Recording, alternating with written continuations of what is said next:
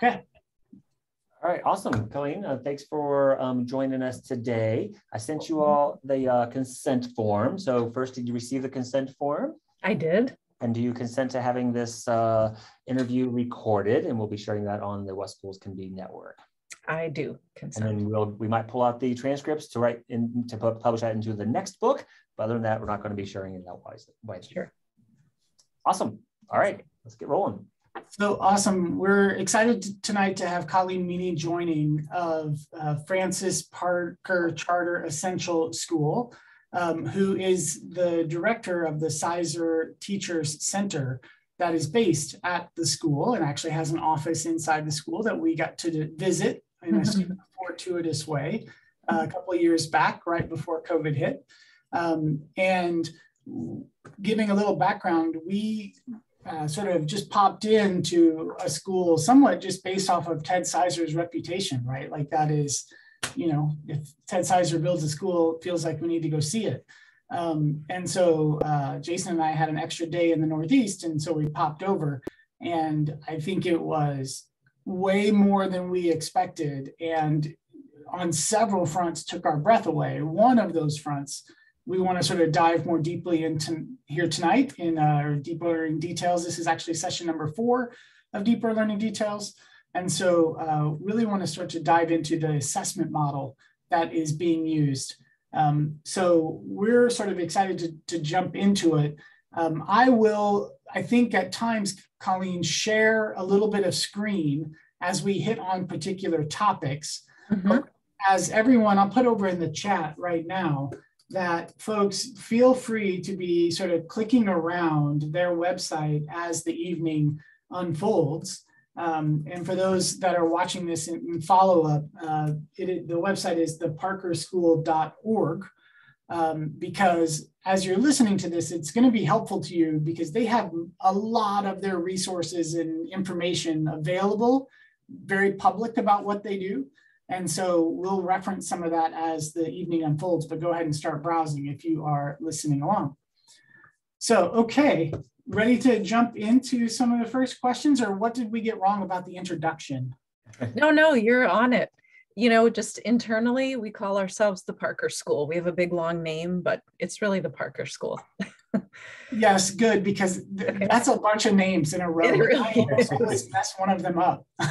so. okay. Yeah, awesome. Okay, great. So um, as we sort of get into this, the thing we're wanting to dive into tonight is, is, a, is a very robust performance assessment model. Um, and it has a lot of different components. Uh, one of the big components we want to look at tonight are the gateways.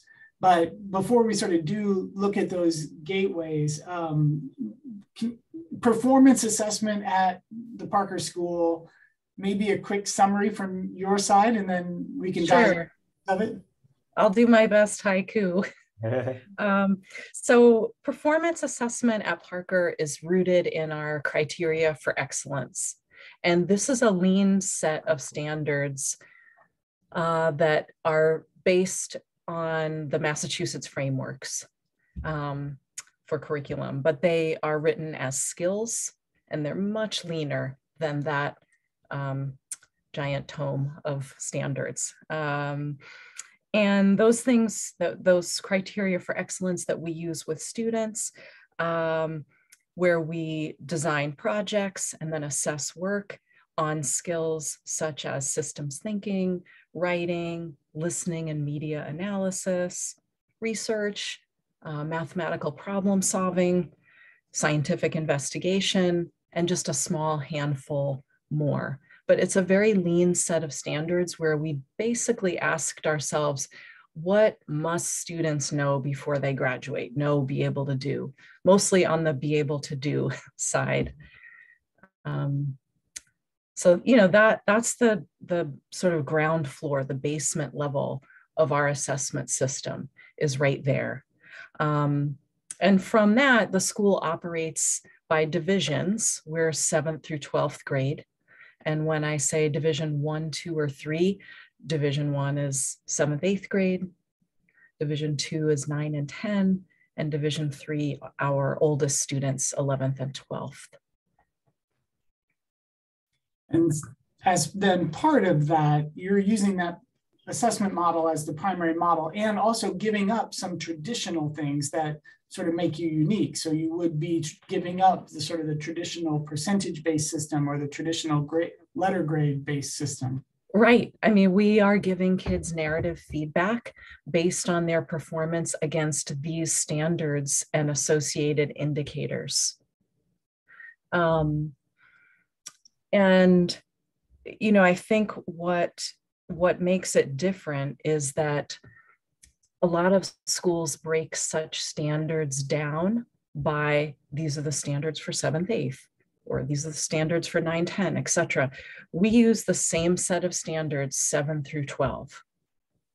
And I might have shared this with you, Justin and Jason, but the best analogy I could um, offer would be everyone knows what the golden rule is, you know, um, treat others as you'd like to be treated. Um, and if you think about the golden rule when you're three in a sandbox, you know, should you share your stuff? When you're 15, should you plagiarize?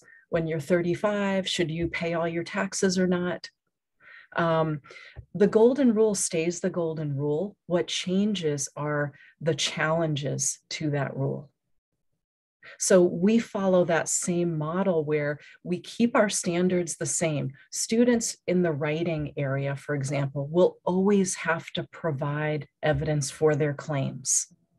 There's no seventh grade version of that or 10 or 12. It's provide evidence for your claims. We're not going to incrementalize that. Um, what does change over the course of those years is the complexity of the task, the complexity of the problem with which we, or project with, with which we ask students to engage but the standards are exactly the same. So students know these standards. They're so conversant with them after, you know, a year and a half. It's just they know these. And then they age up and they understand those standards even more and just own their learning and have pride in their progress over time. So I think I'll go to a, a screen share then to the assessments at Parker page. Yeah, or even if you click on that one, um, Justin, that says criteria for excellence for just a second. Yeah. Um, and um, so it's still current, even though those dates are, but so go down a, another one or two. Sure. Um, so yeah, if you look at this, we call it um, go back one, uh, LAMA, listening and media analysis. um, you know, at the bottom, it says you under process, you generate questions about what you hear and what you see. Okay, that's true whether you're a seventh grader or a 12th grader. So we don't change the standard or incrementalize them. We don't we don't support that model of like you do this a little bit, you do this medium, you do it a lot. You know we're not we're not doing it like that. We're just saying this is the standard. This is meeting expectations as you see it here. So then these stay consistent across each of the divisions with yes. three divisions. Gen, yeah. Gen yeah I, am hesitant to put the traditional grade levels on them but there's a division one two and three yeah. that range between seven and 12 mm-hmm. So there are some natural breakpoints in there yeah. that you all use. Um, but these would stay consistent. So I think there are maybe 15 of these. Uh, this one, Spanish, looks like it's running into two pages, so maybe 14 yeah. of these. Yep. Um, that stay consistent. And then our students expected in each division to uh, be able to have a portfolio item speaking to each of them? Yes, exactly. So when we talk about that expression gateway, that's when students move at the Parker School from one division to the next. And they are required to demonstrate their mastery. So they do that in two ways, uh, and they have to do it both ways. One is a portfolio of work that shows them meeting expectations, as you see on that scale there. Uh, meeting expectations in each of these areas, the 14 areas. And the other uh, requirement is a presentation of learning. And those differ and are developmentally appropriate for each division. So for example, at division one, that when students in seventh and eighth grade gateway to the next level or next division, as we say, um, they're required to have uh, a cover letter that describes their work over the last two years. Um, they reflect on individual pieces of work through this reflection. Um, they're asked to create a metaphor for their division one experience. What was their learning like over that time? Um, I don't know, it was like a fledging bird or what, you know, whatever their metaphor is that's useful to themselves. And they tell the story of their learning in this reflective, metaphorical manner. Um, and so at Division One, while they're showing some of their work and talking about this, the exhibition of learning is more reflective. And then as you age up and you're in Division Two and you're finishing Division Two and you way to the next level. Um, that part requires an independent project this time. So you have a portfolio of work showing you're meeting expectations and all the criteria for excellence. And you're doing an independent research project that you present uh, as part of your demonstration of mastery. So you can see that um, there is a reflective component on their time in division two, but that's smaller and they present more on the independent project, which exhibits uh, those strength areas among the criteria for excellence.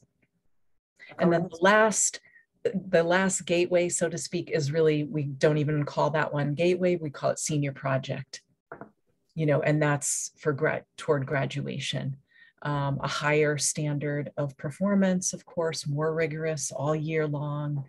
Um, modeled lightly after a dissertation process. So they have to present their research first at the halfway point of the year, then they get cleared to do some kind of action item or service project or whatever the product is. Colleen, thanks for that. Yeah.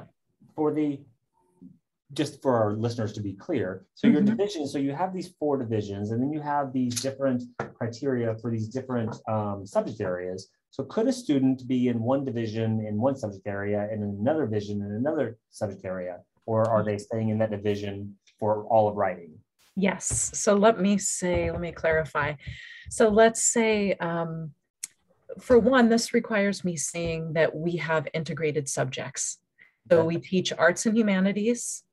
So classically English, history, and the arts together. We call that arts and humanities.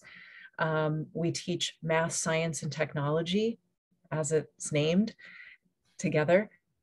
We have wellness and Spanish. The whole school takes Spanish. So if you're um, a student at the Parker School, those are your four classes every single day. Just those four areas. So uh, let's take um, a 10th grader who is meeting expectations at the beginning of the year in all the areas of the criteria for excellence that go with arts and humanities. If that person is meeting expectations without trouble, they're turning in work on time and they have good work habits, um, they can request to gateway early. So it's the same requirements. Um, and by early, I mean January. Um, we only do gateway opportunities at January and June. This was something when first opened that we did fluidly throughout the year that became untenable. so if if there's a little efficiency offering here, it's do not offer continuous times to move ahead a grade whenever you want. so that was a misstep you all made. Yes, for sure it was for a while. We had to have our hand on that hot stove until we learned better. Uh, so now it's January or June, end of May, June. Um, and that creates good efficiencies in the school and better well-being for leaders and teachers. Uh, So you can have a student who say is excelling or, or advancing at a more rapid pace, meeting expectations in the projects, uh, move ahead gateway early, let's say in January, out of arts and humanities and into division three arts and humanities, which is with 11th and 12th grade peers. Um, and perhaps a different person needs more time in arts and humanities. And that's the expression we use, taking more time or just need a little more time. Um, just like when I write a grant, I might need a little more time. you know, we try to use language that adults would naturally use. Uh, I'm not failing in my grant writing. I just need an extension. Do you know what I'm saying? I would never assign myself an F in something that I need more time on. I would call it needing more time because that is the fact of the matter. So I love mentality. Um, I love that, that that paradigmatic shift as far as this a real. Yeah. I mean, yeah, that it's part of our internal question we ask ourselves is how would adults say it? How mm-hmm. would I like it framed? Hmm. And I don't want to be left back. I'm not a failure. I'm not a 60. I'm a good human who's learning at the rate that I can at this point in time. Who needs and more time? Yeah, I just need some more time. So peace and love. Um, so a person might need more time, in which case maybe they stay an extra semester in a division. But they're going ahead in math, science, technology. They're going, you know, carrying on uh, in Spanish or wellness. All good. So um, and at, at any point in time, about 20, 25% of our population is either taking more time or going, uh, you know, advancing early. So there's definitely some things that I want to, I love. I think that it's probably that note around, there's sort of two big ideas. There is one like being intentional about language and i think it is worth noting that we i feel like you helped to teach us something before we even got on video um, around the word defense which is extremely popular in this world of performance assessment and i mean we're in kentucky i'm in kentucky and, and that word defense gets used a lot but you didn't react super well to that and i think it's worth sharing with everyone else sort of how you reacted well, I mean, we don't call it a defense. I think of that that creates uh, you know two sides, an offense and a defense. and we're not about sides. We're just you know there's room for everyone to achieve and I'm not on the other side of students. You know, I'm with them. I'm trying to be an ally to their learning, um, a coach. Um, so we just we don't think of it as defending we think of it as exhibiting or demonstrating but we don't posture ourselves uh, in a face-off type of way with kids there's nothing useful about that at this age or really any age i, I don't think so i'm not a fan of the expression. It doesn't it doesn't embody what we stand for i guess is the bottom line. But the fact that you've thought about it i think is what comes across a couple of comments in the chat right? Like this is a, a, depth of thought. And that's one of the things we love about your school is that as, as i've shared with others in the what school could be community um, most of what we saw on our journey to put the book together was schools in this active innovation mode where they are they're going fast. They're making mistakes. They're not taking the time to think deeply about each word that's being used in the process. Yeah. You know, you all are at a place where you are thinking deeply and you're you've slowed down a little bit and simplified. And simplifying is actually one of the things I love the most about your approach to performance assessment. Yeah, I think, you know, like I said, lean, a lean set of standards, these efficiencies of January and June. Um, we spiral the curriculum in a way that lets students um, move in January in a way uh, that helps them meet with success. So for example, um, if we were in a math science class and we're looking at um, I don't know, linear functions, say. Uh, as that the teacher of that class, I might uh, weave linear functions into a project in October, in January, and in May. And I'm doing that on purpose because I know I'm going to get some new students in January. And then they would have exposure to that skill. I also know the students who have stayed with me or been with me since September need a second exposure to that skill. And some of them will need a third. Mm-hmm. You know, and a, a really simplistic uh, connection to this is if I asked you, when did you walk? You don't have to answer this, but rhetorically, I'm asking you, when did you walk as a toddler? And walking is developmentally appropriate anywhere from like nine months to 13 months. Does it matter in the end what month you walked? No one, no one cares. It's not on your resume. Maybe I'm the first person who ever asked you only rhetorically, but so, you know, we know that if a student needs a little more time, just like a little person learns to walk within a certain range of months, it doesn't matter. But it's on us to keep the door open and give these young people multiple opportunities to re-practice that skill, another exposure to that skill. Now, mind you, in the pie chart of skills that I'm trying to expose students to in my math science technology class, that slice of the pie for linear functions might be larger, you know, small, medium, and large. It might not always be the front burner item in a project, but the exposure is still there. Another chance for a brain that's four months older to grab hold and get it you know, this is the age of one foot firmly in the concrete and the other foot reaching forward toward abstraction. You know, so it's on us to create the opportunities. Love it. Thank um, Love that language. Yeah, excellent. I want to, I'll just share again for a second, just the, the thought around simplicity. I think for, for me, one of the things that you all do really well is you really do simplify the rubrics um, and sort of contain these sort of rubric areas down to sort of three domains. Mm-hmm. I, I, love how simple this is. Like yeah. where the X falls inside of any one category mm-hmm. can, can signal something to a student.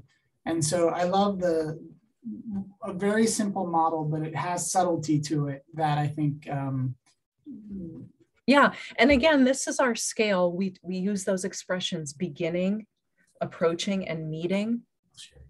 And that's that's really it. There's very few times we put the word exceeds on a rubric. Um, we're just because again, look, walking. Do you need to exceed at walking? you know, you're walking. Like, yes, you met the standard. Like, a pretty good walker. Know, yeah. so we're not about exceeds. We're about meet the standard. If you, you know, certainly students sometimes have something very extraordinarily original or insightful or another way to do the problem that hadn't been approached that way before. Absolutely. And we're going to acknowledge that and call it exceeds. But we are not placing exceeds on the rubric that students see. They know that it exists, but it's not something we put out as um, an, an expectation that creates pressure. You so, know? Colleen, you, your all's models are, are super simplistic and super clear. Did you all lean on other folks to come up with these models, or are they just organically built in house? Or can you walk us through how you all came up with this? Yeah, yeah. So one thing is you mentioned Ted Sizer at the outset, um, the founder of the Coalition of Essential Schools out of um, the Annenberg Institute and Brown University. And, um, you know, Ted organized a, a coalition of these essential schools that, that subscribe to these 10 common principles, things like um, less is more, uh, helping students use their minds well, democracy and equity, personalization. Um, and schools that chose to uh, aspire to these 10 tenants uh, gathered once a year at something called a fall forum. And it was at that annual gathering, which was national, um, that we both uh, gave and received a lot of ideas.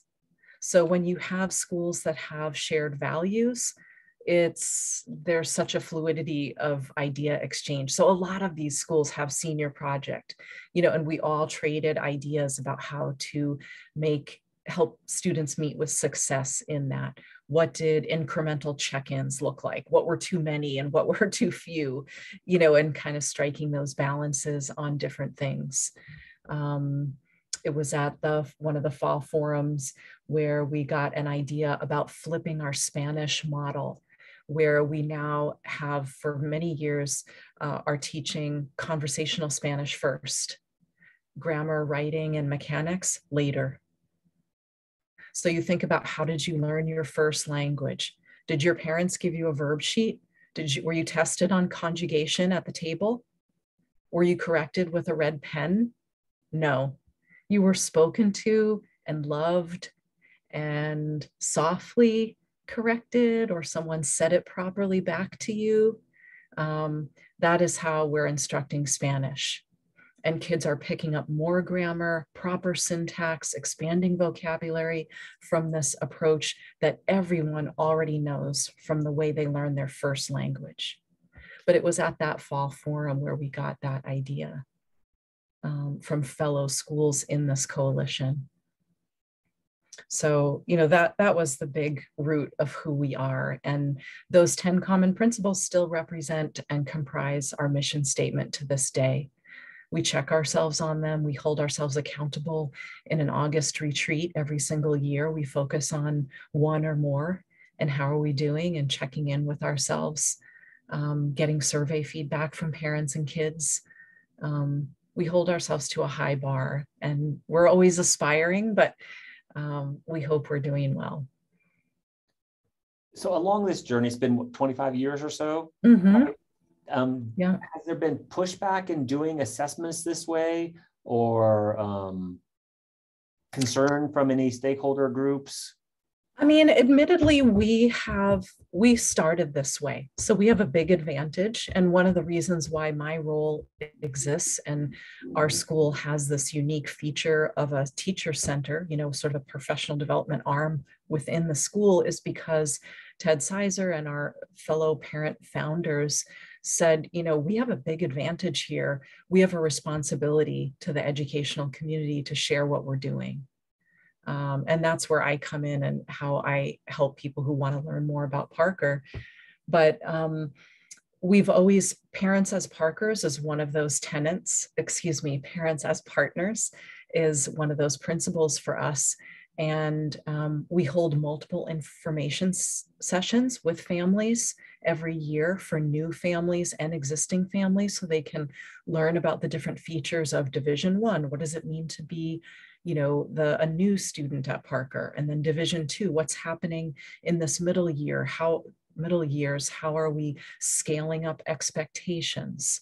Um, uh, because that's something the school is really good at. We got better at this over time was because we're under one roof, seven through 12, we have these uh, cross grade conversations that are very productive. So we've gotten, we've built that muscle for developmental um, scaffolding that really um, scaffolds rigor in the you know a, a, really thoughtful way across the divisions. Um, so we work hard to partner with parents to educate them about what we're doing and why we do it. Um, that this has a lot of correspondence what we do to their working lives. You know in i can't think of any working lives where you get a number grade there's just not a professional equivalent of getting like an 81 or I know no one who receives such things. So it just doesn't have correspondence to real life. And if it doesn't have correspondence to real life, we probably don't do it. I mean, we're, you know, we're trying to treat students as we would like to be treated, you know, uh, humanely and as you know young adults and give them feedback the way you get feedback from a boss. You know i hope you get good rich narrative feedback from your boss. When your boss needs you to fix something i hope you're not fixing it all the way from scratch. Mm. because she probably only told you to strengthen a few areas. So you strengthen those areas and then that grant is good to go or that project is you know good to hand off to the next level or whatever it is. Um, so that's what we're doing you know we're not um, we're trying to help kids live the way adults live and treat them respectfully. So within the building mm-hmm. in the ongoing maintenance of the model. Yes. Is there a leadership team? Like who who are the people that are sort of responsible for maintaining the overall assessment model in the building yeah i mean so this is where we resemble other schools probably a lot you know we have um, a leadership team an instructional leadership team which would be a core tighter circle and then a leadership team that's not just instruction that's a little bit more a, a few more people in it um, but the instructional leadership team are the domain leaders. We use the expression domain because we have blended disciplines. In other schools, that would be called department heads. You know, for us, domain leaders. So leader for arts and humanities, leader for math, science, technology, wellness, and Spanish, uh, special education leader, um, principal, and we have a dean of academics and a dean of students. You know, so that's our instructional leadership team, and they are stewarding our work around instructional goals each year, often tied to one of these 10 common principles um, and some other areas that, that we're working toward. So it sounds like it makes for a pretty tight integration of assessment and the actual projects that are sort of being developed on a, a given year. Mm-hmm that one team seem, is covering both both parts of the ground and sort of yearly crafting the experience. Yeah, I mean, I can give an example in math, science, technology, for example, that that domain area wanted to look at. So let me back up. Like many schools, we have some whole school goals, and then we also have some domain-based or, or discipline-based goals. So math, science, technology was looking at systems thinking, and what does systems thinking look like um, in our projects, seventh grade through 12th? And in that spiral that I described, how are we scaling up the rigor throughout those grades? You know, again, the same criteria, the same indicators, but the nature of the challenge is more complex at each division, harder, harder, harder. Um, but with that same spiral play within the play spiral within the spiral where multiple exposures to the same skills in a year so that those reaching toward abstraction can grab hold at the time that's right for their gray matter development so colleen with this kind of approach how do you think that schooling is different for students using the gateways versus getting a traditional grade, being in traditional mm-hmm. classes. Mm-hmm. So how does it feel differently at Parker? So the number one feedback I get from visitors and other people who come see us and meet with our students is, oh my gosh, I can't believe how deeply your students own what they're doing. And all I ask students who meet with people is, is to say, will you take the person through one project, beginning to revision? Because when people visit a class, you see 10 minutes, and those 10 minutes could look traditional. You know, I, I don't know what 10 minutes somebody's stopping by, but they don't reveal the arc of a project. And that's the heart of our work is the arc of each of these projects. So the student will tell the story of, um, you know, uh, there's one division one project where students have to make a package uh, packing material smaller for something. You know, they're looking at waste and sustainability and things like that. Um, so they'll show what the package was before, what it was after, what the challenge was, what were the mathematics involved, what was the, the lab report, the sort of science side where they wrote things up and kept a data table, etc. Um, so for the student, you know, they're telling the story of their work and they're they get to this point and say, oh, and then I turned that in, and then my teacher gave it back to me with feedback, and then I made these these additions because I didn't have enough evidence or I didn't, my conclusion didn't address this other piece. So I added that, you know, and they're just owning it. it's not like they get to the end and it's like 91, whatever 91 means. You know, they get feedback on a rubric with those scales that you showed, Justin, and the indicators from those criteria for excellence. And they know what to fix what to make stronger and they also feel affirmed in the places where they they the teacher is like great you know or this highlighting that part of the rubric like you you know you, your evidence would blew me away or whatever they say. Um, so it's very specific excuse me and and students know what to do. You know it's there's no mystery. They understand the feedback they're receiving. Um, we have students graduate who are able to talk with adults, who are able to receive feedback without feeling um, defensive or they ask for feedback.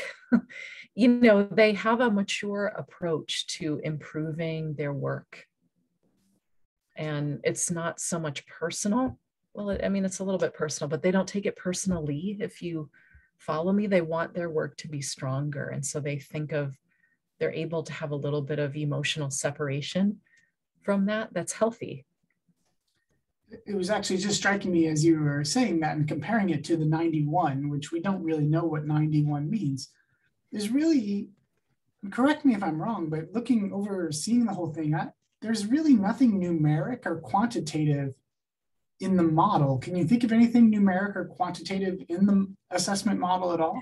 No i mean in math science and technology we ask students in the division in the first division seventh and eighth grade students to graph their performance over time. So that is quantifiable.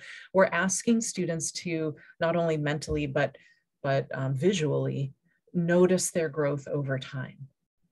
Um, and it's something we don't ask again. We don't ask them to do it in division two or three, but it's, it's the point is notice your improvement over time you know, and they, you can see these bar graphs that are like smaller, you're just beginning and then it gets better and better and better, you know, and for kids who have a firmer footing in concrete and less abstract reach, they need to see that, you know, so that's a, a developmental um, move that we make for our youngest students. Wow, um, I, that's that's that piece by itself is really worth sharing. I mean, that is uh, that I mean that would help so many educators unlock what's really going on here. I'll send you one. Take a picture. Yeah, we um, want to to see it because it it is like because kids they're coming to you as seventh graders. Mm-hmm, mm-hmm. They've been coached into this very numeric sort of quantitative thing, right? Yeah. In some ways, you're sort of coaching them back out of it, but in doing that, you're also sort of really showing the rest of us educators like it's not that this has no relationship. It's not that none of this is quantifiable. It could be quantifiable. Mm-hmm. but the quantifying of it the numbering of it is not what's important. It is the sort of deep feedback and the iterative mastery that is what is important. So we really can turn loose of numbers mm-hmm. and then actually produce a better assessment model. Yes. Yeah. And and you know back to the bigger point of these gateways when students move from one division to the next and they do this performance exhibition um, every project before that is preparing them to do that better. Just like i said we scaffold skills. We also scaffold you know demonstration of mastery. They're doing it doing it doing it you know all year for two years and then they have a public one you know that includes family and friends um, and then those, the Division One and Division Two exhibitions, prepare students for Division Three exhibition, which is senior project, which is highly independent. you know, so there's all these kind of plays within the plays that undergird and bolster the student to build these skills. So you all are in a unique position because you, I mean, you had the uh, Sizer um, Sizer Teacher Center, right? Mm-hmm. So I'm assuming that you're training your teachers in that center, either um, pre-service and in-service. Is that accurate? Um, partly. Yeah, we sat with Ruth. Wasn't there? A... Yeah, yeah. So we have a unique um, program at the school, which we are a state sanctioned certification site. So mm. every year we take on about 10 um, brand new uh, people who are not certified but have a degree in their subject area. And they are partnered with a master teacher uh, who is certified. And at the end of a year, they are fully eligible for certification.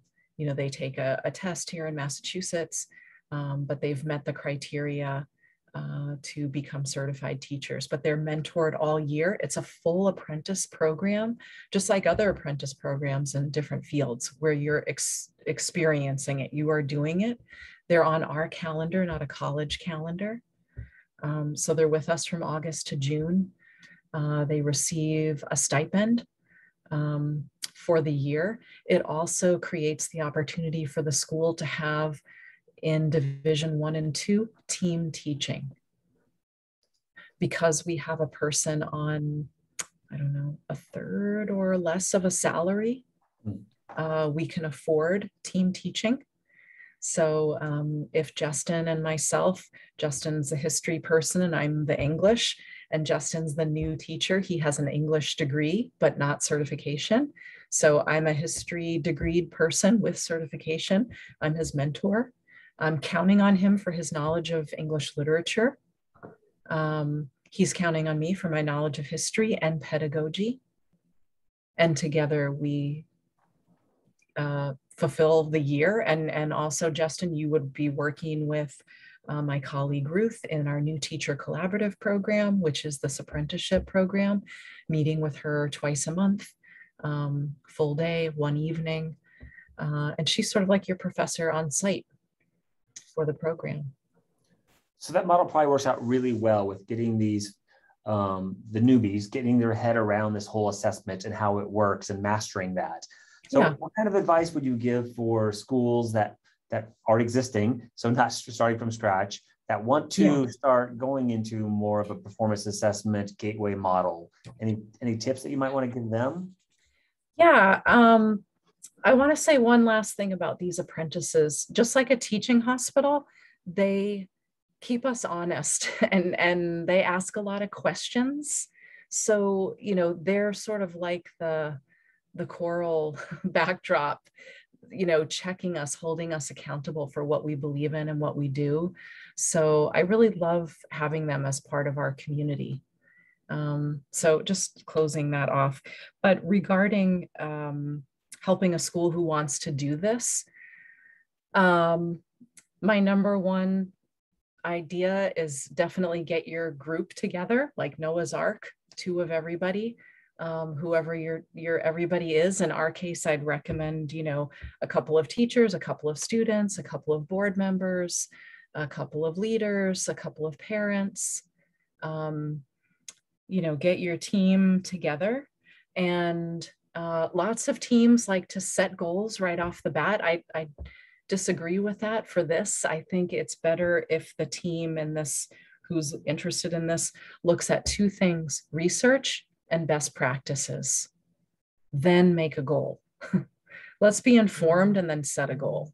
Let's don't um, set a goal and um, not know what we're talking about yet. you know, I, I really like that idea of learning a little bit first and then naming what you're what you think you might be after. Um, you know, the initial name could be exploratory committee for such and such or whatever, but not much more fine tuning than that. Um, so by research, obviously, I mean, you know, published articles, you know, vetted articles on this type of topic, mastery-based um, assessment and performance.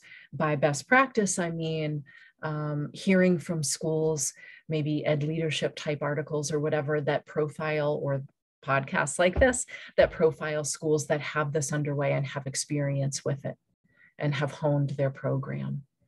Um, and you know taking that learning maybe then developing a goal and then getting out of your setting go visit places as as both you justin and jason did i think you know that is a brilliant move to go see places. The parker school during um, the pandemic developed a remote visit protocol so we have that available for people who can't travel. Um, but doing those visits and then periodically sharing out to the whole staff to the whole parent community, giving them updates so they're part of it and not left on the side while some group advances way far ahead without any inf information sharing. Um, and then, you know, deciding after you've seen this buffet table of both research and real and best practices, what matches your community? What are your community values? Um, what's your cultural context?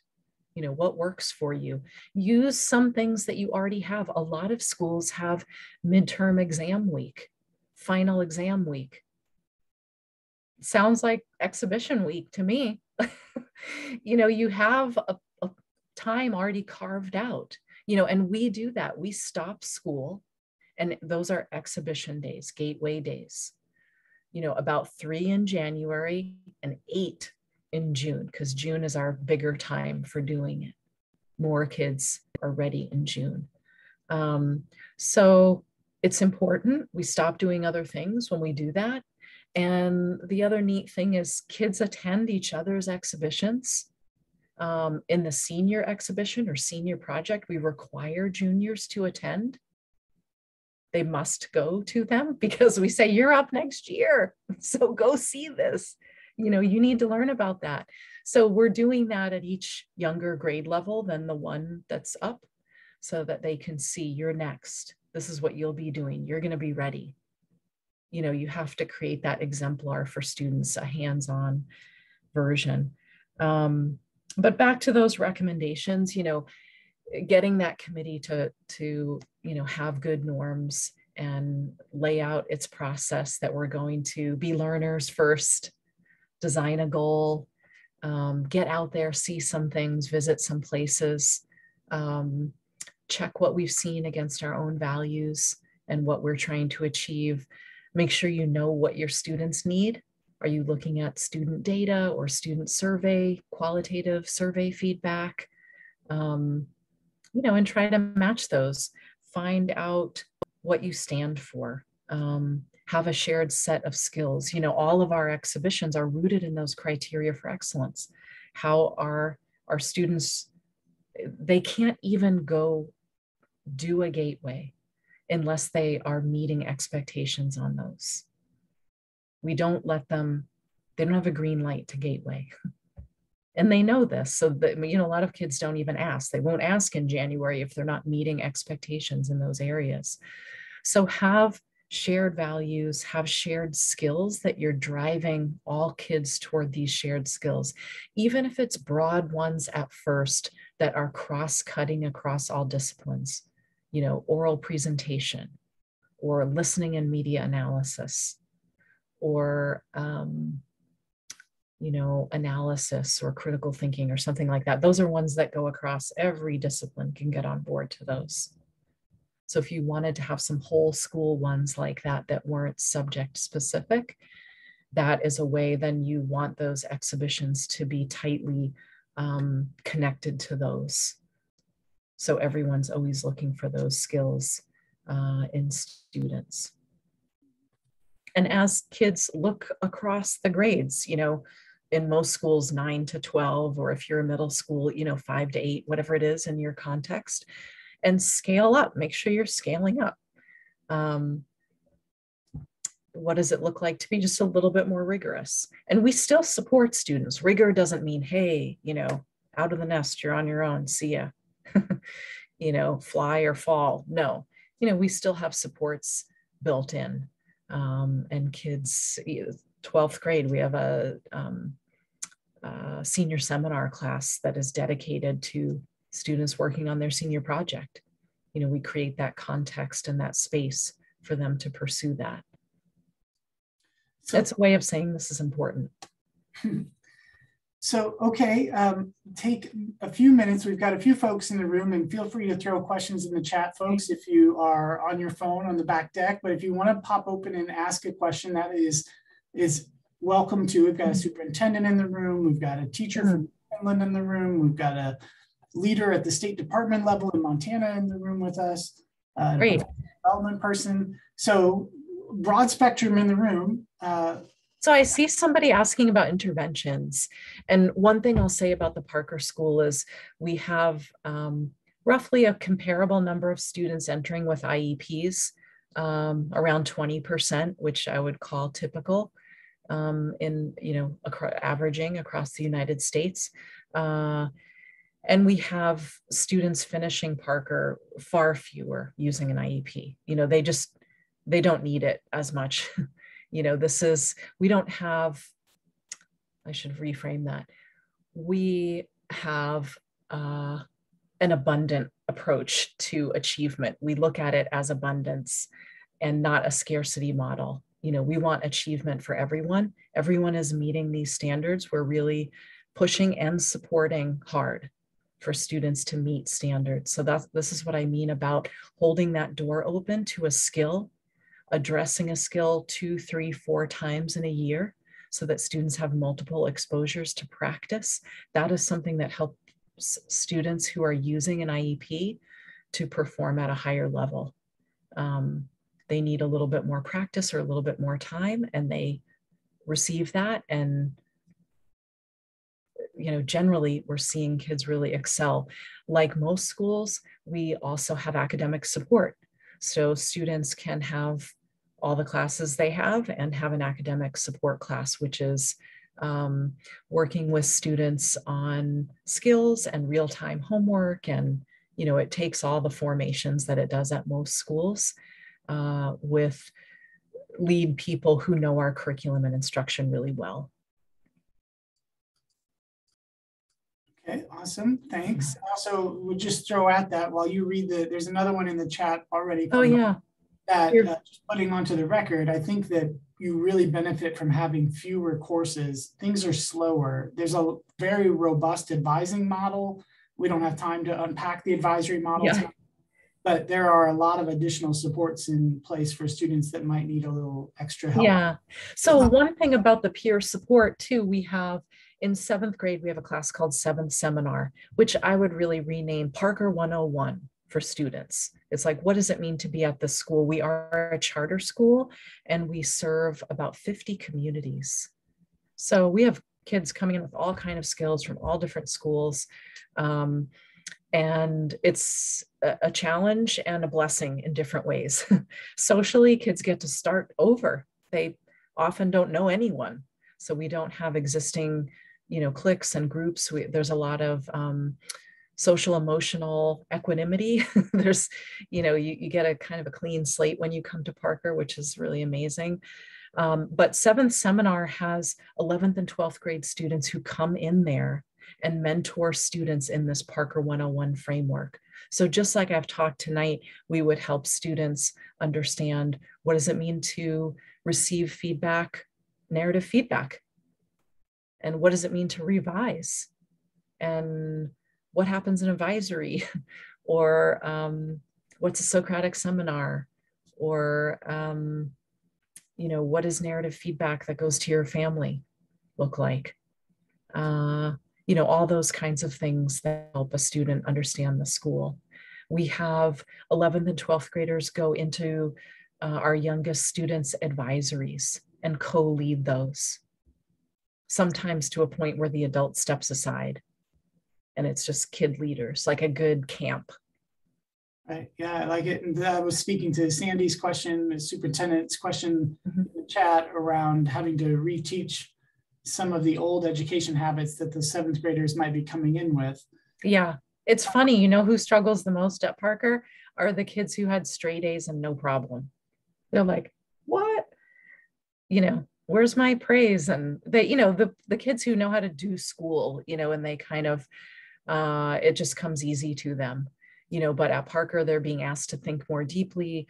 They have to revise. They'll get feedback on something that says approaching, approaching, you know, that's new for that student who's used to getting an A or 91 or 95 or something. Um, so in our model where it's 7, 8, and 9, 10, uh, you can imagine the first year in that division, students getting feedback that requires more revision. And in the second year of that division, um, hitting the mark a little bit more and less revision. Just like if you're a swimmer and you age up to a new age class. um, when you age up, you're kind of the youngest, maybe least strong in your group. But then your second year in that age class, like you're rocking it. Uh, so that's kind of a cycle for us. So another question from Jill in the chat, who's a teacher in Newfoundland, who is uh, questioning around sort of the peer teaching and feedback from teacher to teacher. Now, like most of the deeper learning schools that we interview, there's not a lot of teacher turnover at the Parker School. And so I think there's a pretty solid team that's been solid for a while. Mm-hmm. Still, they're having to work together. And so, how does that sort of peer teaching and learning and mentoring between teachers work? Well, there's the, one unique program, which is our apprenticeship program, the New Teacher Collaborative. So those people do turn over. That's 10 people who turn over deliberately because they're sort of graduating out of Parker and getting jobs. Um, and we want to keep those spots open for the next flight of folks. Um, but other peer to peer pieces are you know, we have a ton of collaboration and all of our curriculum is original work. So we're not um, doing a corporate uh, package of any kind.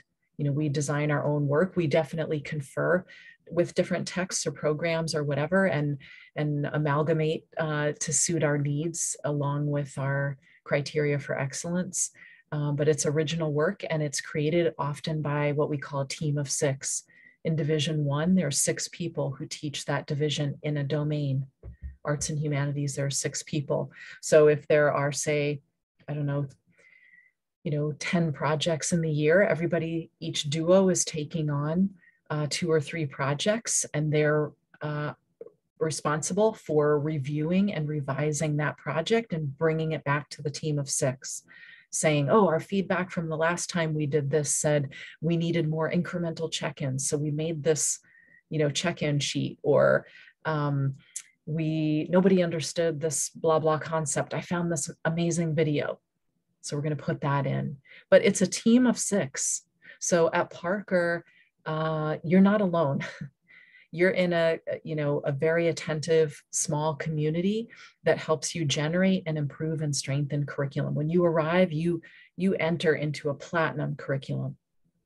Um, and so you can be a new person and still shine there. We're interested in your ideas but you don't have to create something completely from scratch. Um, you get to learn from the good work and and stewardship on this curricula over the years so then last question, and we'll wrap on this one. Sure. This whole thing with all this performance assessment and gatewaying. So what are these graduates leaving with and what do they do next? Do you mean like our 12th graders or at? I think I so. Would, I would think that that's yeah. A, like a, you don't get traditional transcripts. So what do they leave with? Yeah, there we go. Yeah, yeah. I think so. I think that some unique features about our graduates is that they are pretty autonomous. They have strong um, skills in knowing themselves as learners and um, kind of working out the kinks of procrastination, which is a feature of almost every young person at some point in time. Uh, they are very conversant with adults. They use professor office hours when they go to college and they don't think twice about it because they're used to, you know, narrative and, and just conversational feedback from, from adults. Uh, they're confident presenters. Um, they understand how to form a group on strengths. So I don't want to be in a group with a person exactly like me. I want to be in the yin yang and other kind of Olympic ring group where everybody brings something different to the table. They kind of recognize those features of good work that it takes a variety of humans to make something strong, not a duplication of similar humans. Um, But and I, I think they think across disciplines also, Mhm. you Well, know, in a in a systems way.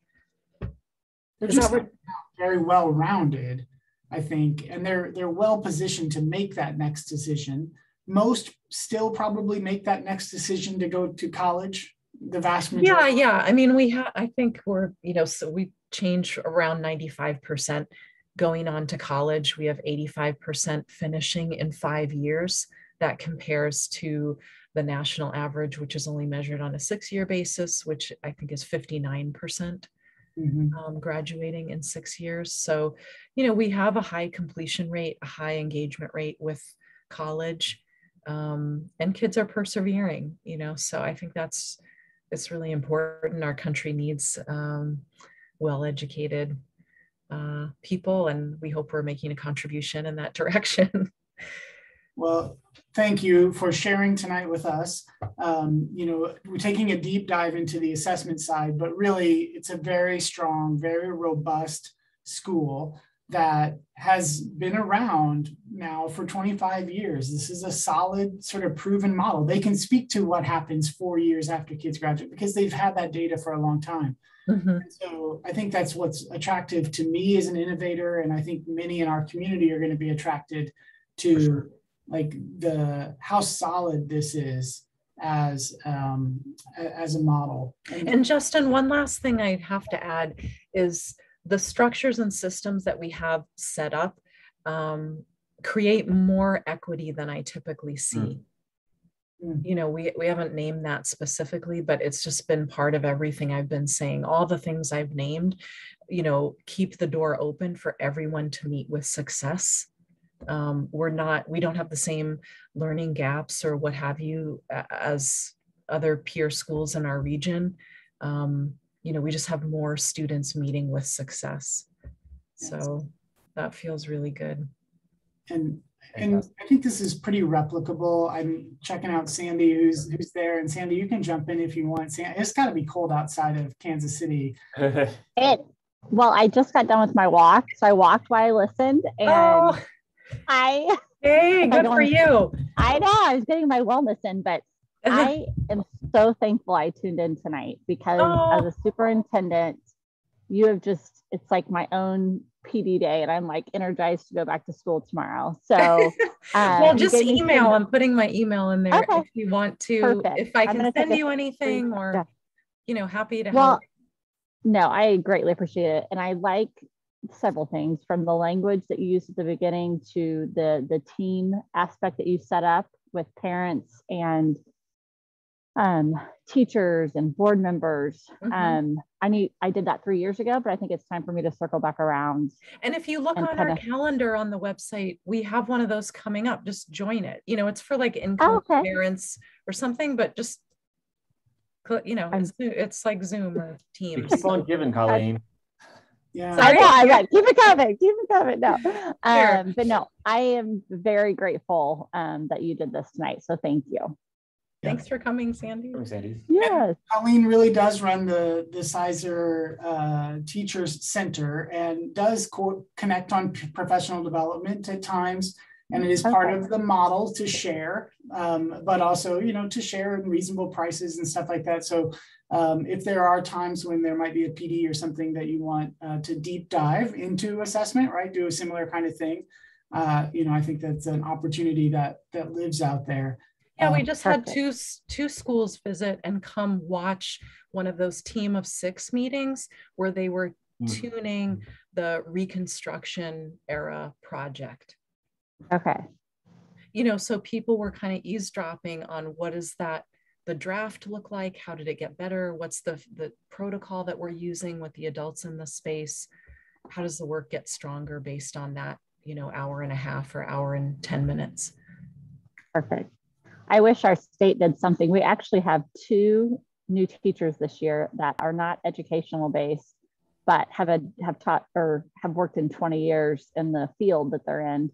Oh, and it's like they're going to eventually get it after two or three years, but it's unfortunate that it, it takes so long because they're amazing. Oh, yeah. I mean, this Um, what we're doing is kind of an immersion, you know, an immersion thing for for adults. You know, they have the subject area degree. We're just trying to help them with the pedagogy. right. Well, lovely. Thank you for sharing. We could go on, but let's stop there. Appreciate your time, Colleen. You've been so generous with us. Thank you. Answering our phone call on the very first day, which you did not have to do. sure. Well, they And actually so, technically uh, you called back. We left a message. You're like, there's no way they're gonna call back. So we were we're planning other things and like just like we're go we're, we're heading to Francis Parker. Nice. So glad you did. So glad you did. It's been a great. Okay, well, everyone be well out there and um, take good care.